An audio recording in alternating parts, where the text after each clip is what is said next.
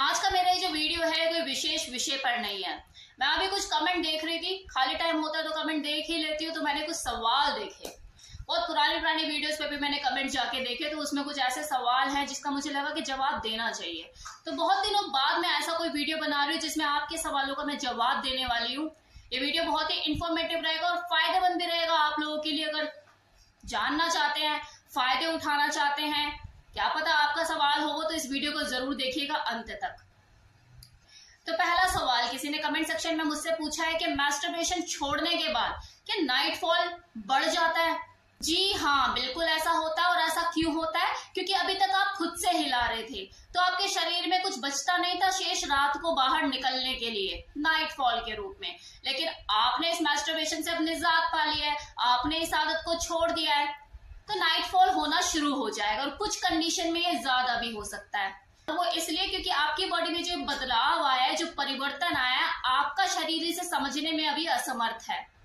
धीरे धीरे जैसे वो इस बदलाव को चेंजेस को समझ जाएगा, वो अडेप्ट कर लेगा, उस एटमोस्फेयर को अडेप्ट कर लेगा और और खुद ब खुद ये जो चीज़ें हो रही हैं नाइटफॉल आपको ज़्यादा हो रहा है, ये धीरे धीरे कम हो जाएगा स्टेबल हो जाएगा। तो आप टेंशन बिल्कुल मत लीजिए। दूसरा सवाल नाइटफॉल होने से क्या स्पर्म काउंट में फ़र्क पड़ता है?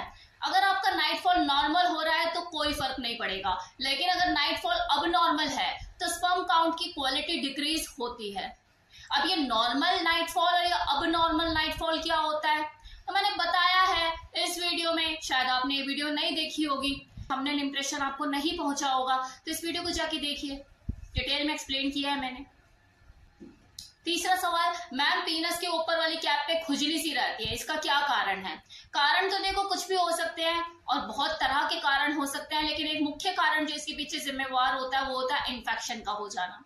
और वो इन्फेक्शन किसी भी वजह से हो सकता है। पहला तो वजह यही होती है कि आप अपने लिंग की साफ़ सफ़ाई नहीं रखते, जिसकी वजह से लिंग के चारों ओर स्मैल जमा हो जाता है, जिसे स्मैगमा भी कहते हैं।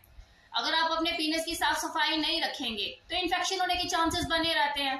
लिंक की साफ़ सफ़ाई कैसे रखें, उसे सेहतमंद कैसे बनाए? इस वीडियो को देखा आपने? नहीं देखा तो जाके ये वीडियो देखिए।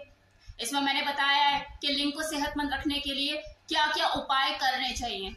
मैम, आपकी तरह मुझे बात करना सीखना है। आपकी तरह की शैली में मुझे बोलना सीखना है। क्या करना होगा? नकल करनी होगी।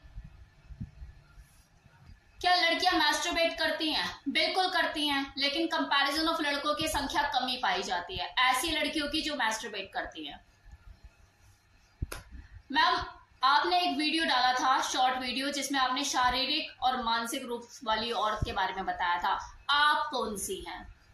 जो मुझे तीन साल से फॉलो कर रहे हैं, उन्हें मुझे बताने की ज़रूरत नहीं है कि मैं कौन सी हूँ, क्योंकि मैक्सिमम लोग समझ चुके होंगे कि मैं कौन से वाली हूँ। और जिन्होंने मुझे अभी अभी रिसेंटली फॉलो किया और उस वीडियो को देखा है तो फॉलो करते रहिए। आ जाएगा समझ कौन सी हूँ। Paid couple is also a kind of prostitution आपका नज़रिया क्या है? हर इंसान का नज़रिया देखो अलग अलग होता है। कोई भी अपना नज़रिया किसी के ऊपर थोप नहीं सकता, उसे समझा नहीं सकता। कोई भी इंसान किसी भी चीज़ को जो देखेगा, वो वही देखेगा जो वो देखना चाहता है। अब आप उस चीज़ में क्या देखना चाहते हैं, आपको वही नज़र आएगा। संसारिक जीवन में जो भी बना, वो भोगने के लिए बना है। मर्द और औरत एक दूसरे को भोग ही रहे हैं, चाहे गर्लफ्रेंड और बॉयफ्रेंड के रूप में, चाहे पति और पत्नी के रूप में। अच्छा खाना अच्छा पहनना, या भोग ही रहे हैं। गाड़ी बीएमडब्ल्यू लेनी है, जबकि अल्टो से भी काम चल सकता है। मंजिल पे तो वो भी पहुँचा देगी ना, लेकिन फिर भी बीएमडब्ल्यू चाहिए। क्यों? भोगना है लग्जरी भोगनी है। आरामदायक सुख वो लॉन्ग ड्राइव का सुख भोगना है। कमर में दर्द होना नहीं चाहिए गाड़ी में बैठे हुए। सड़क के गड्ढों का पता नहीं लगना चाहिए जब गाड़ी चलाऊं तो। कंफर्ट चाहिए लग्जरी चाहिए, आराम चाहिए, सुख चाहिए। भोगना ही है ना। जितनी महँगी गाड़ी, उतनी ज़्यादा फैसिलिटीज़ और उतना ज़्यादा सुख। भोग ही तो रहे आप और कर क्या रहे हैं? इस संसारिक जीवन में हर इंसान भोग विलास में लीन है। कोई कम तो कोई ज़्यादा। अगर आपको इस भोग विलास से मुक्ति पानी हो तो हिमालय जाना होगा। वरना इस धरती पर हर इंसान भोग विलास में लीन है। कोई कम तो कोई ज़्यादा। अपनी ज़रूरत के हिसाब से आप इससे बच नहीं सकते।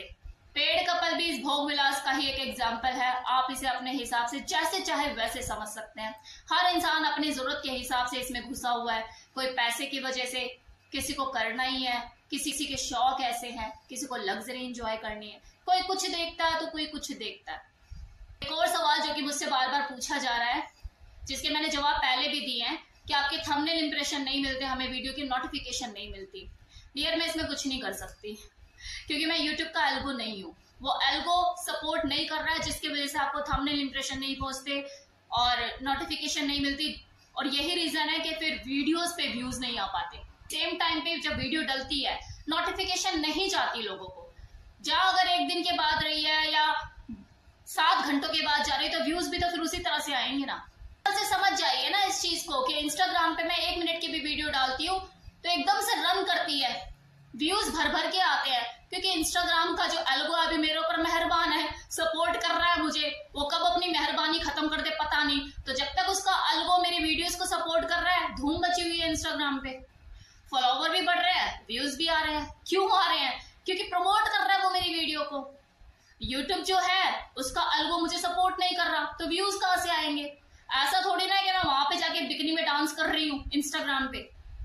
सेम शक्ल सेम हेयर स्टाइल सेम कपड़े पहन के वहाँ वीडियो बना देती हूँ। लेकिन वो सपोर्ट कर रहा है तो व्यूज़ आ रहे हैं। लोगों तक पहुँच रही है वीडियो प्रॉब्लम है वो यूट्यूब के अलगों के साथ है, जो कि सो गया है मेरे नाम का। मैं तो रोज वीडियो डाल रही हूँ। शॉर्ट वीडियो डालकर प्रमोशन भी कर रही हूँ अपनी वीडियोस का। ओके चलिए बाय बाय